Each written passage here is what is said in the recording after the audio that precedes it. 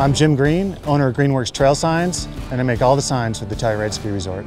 Handmade in my shop in Ophir, Colorado. I've been ski patrolling up here for 28 years now. One of my jobs in the summertime is to maintain our trail signs. Every year we would throw away a dumpster full of signs, and I wanted to come up with a more eco-friendly, better-looking trail sign.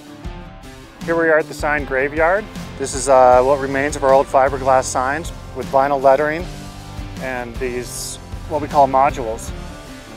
Problem with these modules is they become brittle in the sun, break off very easily as you can see, and required constant maintenance to replace them.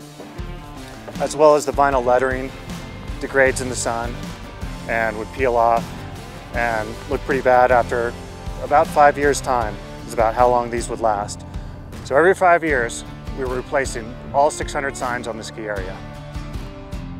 So this is one of our old signs from our Gold Hill Hike to terrain.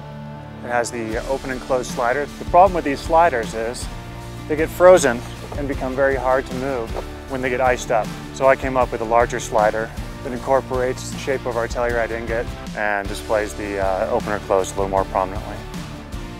Here I am at the San Sophia Overlook, holding the sample of all the signs that the ski has had from its inception back in 1972. We've got the Zulu Queen sign that we had in the 70s um, into the 80s. We had these larger wood signs, the Mammoth Slide, um, into the 90s and early 2000s with the fiberglass signs like this boomerang one. And then in 2010, we switched to my solid cedar Greenworks sign.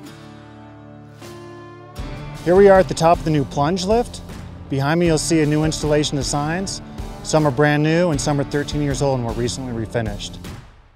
I wanted to create a better looking sign out of eco-friendly products, one that would look better with age, one that could be repaired or refinished if necessary. All the lettering, difficulty ratings, company logos can be replaced if damaged. All the borders and backing can be repainted and restained to make an old sign look new again. We're so lucky to live here in Telluride, Colorado. We're surrounded by natural beauty. I wanted to create a sign that fit in with our environment and pays homage to this beautiful place we call home.